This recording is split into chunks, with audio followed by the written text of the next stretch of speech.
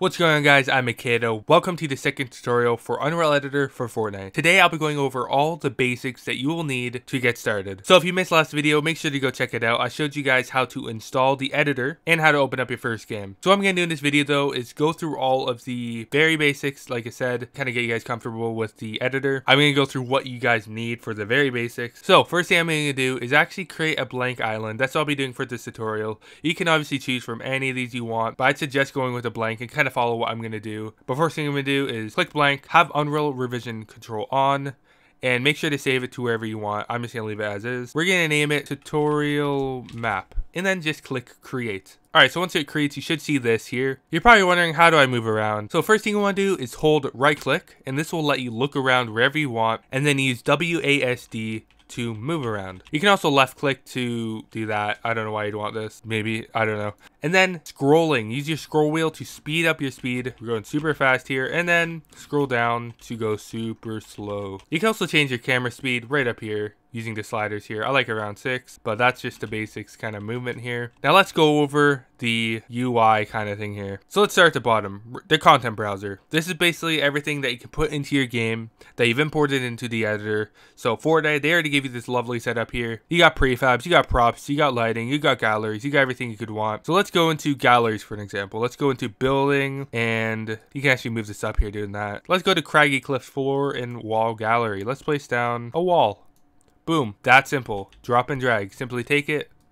Boom. Boom. Very simple. Going to delete those. That's basically what this is. You take things, just drop them in, and that's that. Next up here we got is the outliner. This is everything that is inside your game. So we got two spawn pads here. So we'll see them in here. That's that. This grid, we'll see this giant grid here. This is in the game, so we actually see grid plane up here. So that's all these grids we got here. It's something you can do too is simply search. Let's search grid. All right, we already see them there, but let's just search grid. You can actually right click and delete it or click the delete key on your keyboard and it'll delete it right there. Pretty cool, pretty cool. The outliner is basically everything that is inside your game runs your game or play things that players can see. Everything that's inside your game. Next thing we got here is details and world settings. Details is basically when you click on an object, you can actually see the details of it. We got the mesh here, we got the material, we got lighting, we got everything you could like visible, make it visible or not. Just all the settings really. This, this is basically the world. So this doesn't have to do with a singular object. Time of day, here we go.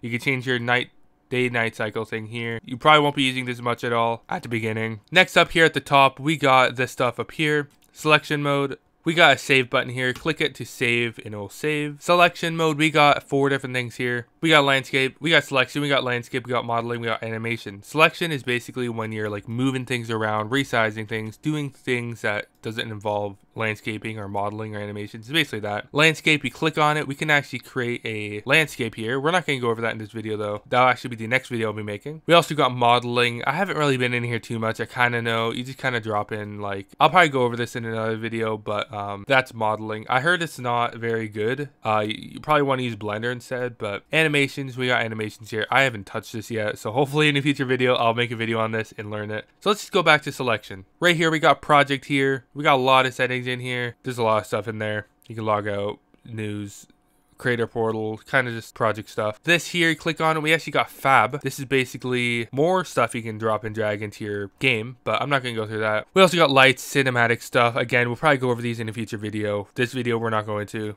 We got verse here. I haven't touched it. I don't I don't know really much about code. I'm gonna stay away from that for a little while for now.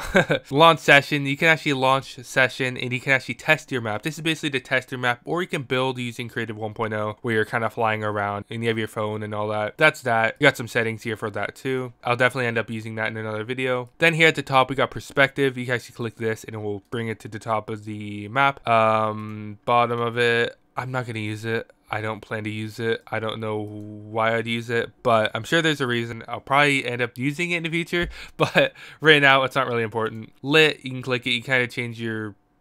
I don't explain it, but there's wireframe. It'll show all the wireframe of the map. I'm not going to touch it again. It's not something we'll need at the beginning. This stuff we're not going to need right now. Time of day. This is pretty cool. You can actually click it and, you know, that's dope. That's really cool. Next up over here, we got select objects. This is just to click on objects and edit them. Next one here, we got select and translate objects. Click on it and you can actually move around objects. Pretty cool. You can move them side, you can move them up. Next one here, we got rotate. So you can actually rotate this. So I can do this, I can do, I can do this, I can go down, Pretty cool. Select and scale objects. This here, you can actually make them thick. You can make it longer. You can make it shorter. You can just resize the whole thing to be like together. Pretty cool. And something too that you guys should try to use is QWER. This is basically shortcuts to access these right here. I use this so much. So helpful. Just make sure to use it. We're going to skip these two things. We're going to go right to here. Grid Snap. This is basically your Grid Snap. If you're familiar with Creative 1.0, you'll know what this is. It's basically, you can change it way up to here. It will just give you Grid Snap.